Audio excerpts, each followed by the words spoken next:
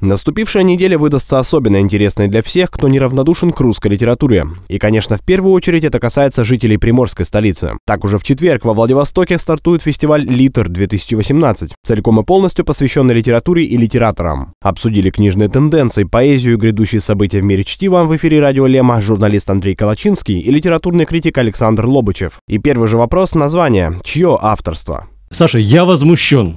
Я считаю, что вот так обращаться с великой русской литературой, даже в ее в постсоветском, модернистском, в постмодернистском изводе, называть все это словом литр, это кощунство, это издевательство. Это вот сбросить всех наших богов литературных на землю и измазать их в грязи. Коллеги по ремеслу еще какое-то время давали советы организаторам и прослеживали тенденции. Выяснилось, что претенциозные названия для них – некая традиция. Сам оргкомитет Литра называется «Культ бригада». И как недвусмысленно подметил гость эфира Александр Лобычев, где бригада, там и литр. Несмотря на солидарность с Андреем Калачинским, критик отметил большой и серьезный размах мероприятия. Стоит отметить, что в гостях фестиваля значатся видные фигуры из мира литературы, в том числе небезызвестный Сергей Лукьяненко, родоначальник целого направления дозоров, чистовиков и черновиков, Михалков, по книгам которого снят не один блокбастер. Нет, это не фикция, тем более, что приезжает действительно, вот ты перечислил э, авторов, писателей, очень известных, сейчас в стране. Это действительно яркий, интересный. Кроме этого, можно вспомнить еще и Павла Басинского,